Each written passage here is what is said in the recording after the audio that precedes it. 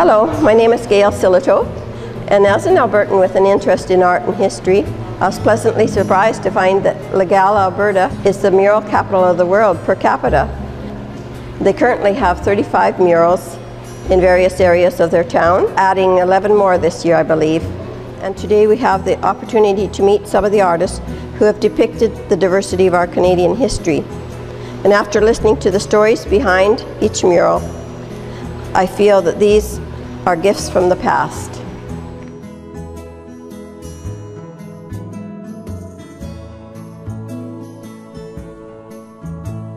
My name is Ernest Chauvet. I'm the coordinator of the Central Alta Tourism Society.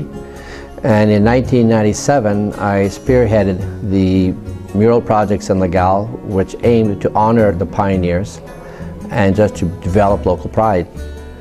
From the request made to two young teenage boys, we've evolved to having top quality artists, both local and beyond, who've given of themselves and made of this community something that is not seen anywhere else. The uh, content of the murals, although they speak of local families, the content of the murals relate very much to social studies curriculum. So as people tour the murals, objectives in the school curriculums are met by the explanations of the mural. Because these are done in story form and at the level of the children, it can be received and integrated as they do the tour. Legal as a community reflects the Francophone presence in Alberta. So just being in the environment in the town is actually answering to the Francophone perspective of the Alberta curriculum and just makes people have a better sense of our Canada and the cooperative efforts between the French and English components since the beginning of our country.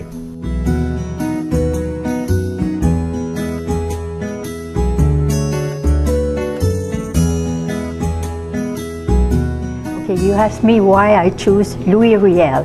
Because when they asked me about Louis Riel, for me, I felt like a big joy in myself because I knew just a little bit his life. And I knew he was fighting for peace. He never hold a gun in his hand, never.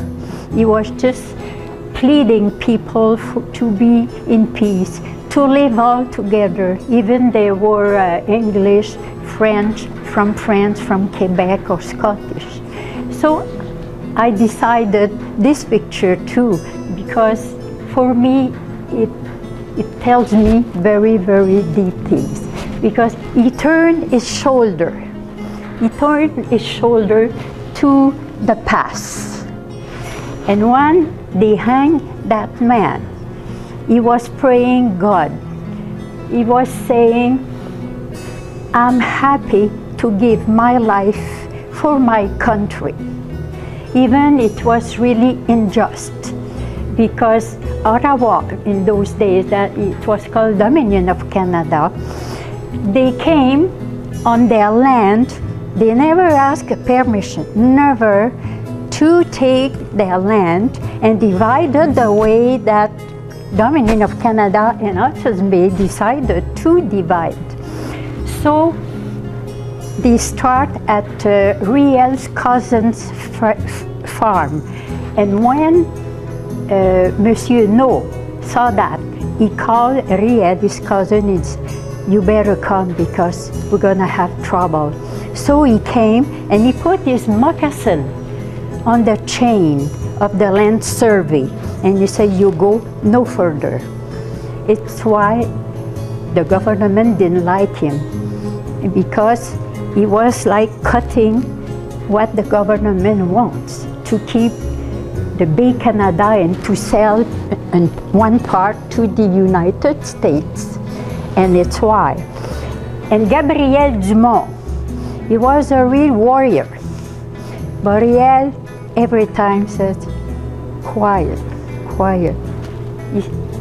But he was listening to Riel, even he had 350 soldiers with him. Riel says, no, we won't fire like this. So he was obeying Riel like a child with a, a father. And here I put the justice statue. It's not finished. And this flame remember us the soul of our country. We are a country that we don't see anywhere else. So the flame, all the Canadian, it's to stay together in peace. So the justice try to cut that flame from the heart of Riel. But the more wind that comes, the more war they try, the more the flame when she grows and goes and goes. So it's why we're gonna have down here flames that comes from this here. And instead of hanging a man, I put a dove because the dove is a sign of peace. And when it's to be finished, I'm to put here just a, like a grape, like he's a martyr. Because um, I read lately people from even English, even Scottish, when they knew that they hung Riel, they says they kill him like a dog and he's a saint. This is about, and the flower, the flower will be um, painted from each provinces because it was in his mind to have more provinces after Manitoba. You found that different, different tint in the paint.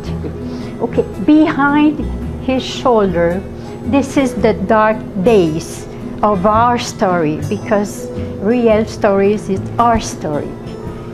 We know that always the little ones are keeping down and then he was fighting and he was very angry every time it happened. He was a person that everybody could live together. And after he's dead, just like the sky opened. And today, after he did that, the, uh, the artist will give back the spirit the Métis. And I put all the, the flags because that's what he want. Everyone have a place on this earth to live. That was in his mind.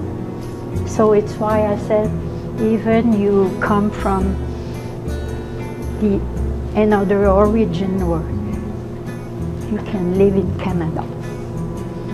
It's historical panel.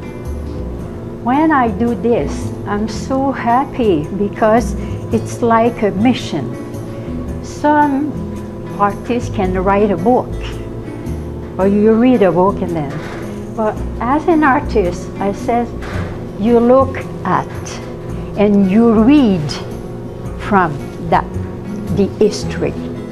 So I'm so happy for that. It's kind of mission.